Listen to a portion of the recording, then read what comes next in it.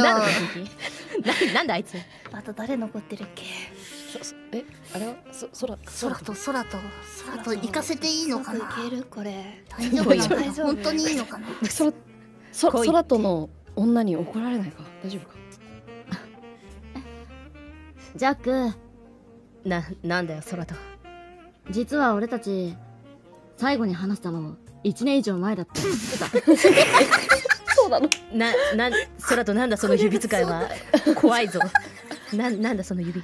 なんでそんなに話してくんなかったの？いやなんかな何話していいかよくわかんないから。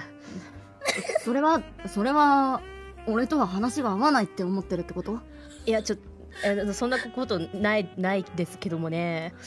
そんなことないですけども。いやだからさ今日会いに来てくれてとっても嬉しかったのに一番最後に回されてちょっと悲しかったないやいやこ俺関係ないじゃん。これはさドンちゃんの采配じゃんこれは。まあね主にドンちゃんが悪いんだけどそれはまあもう主にドンちゃんが悪いのは分かってる。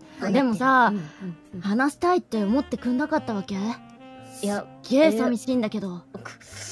まあ思ってたけどまあ俺からしてお前っつったら高嶺の花だから、まあ、話しかけ俺たちの関係ってもっと深いものなんじゃなかったの？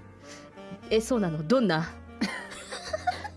ずっと一緒に話してたし僕はずっと君のその赤い髪もそのスタイルのいい君の素顔もとっても好きだったんだ。なのに君の方が全然近寄ってきてくれないから寂しくて寂しくて。今日え本当に会いに来てくれて。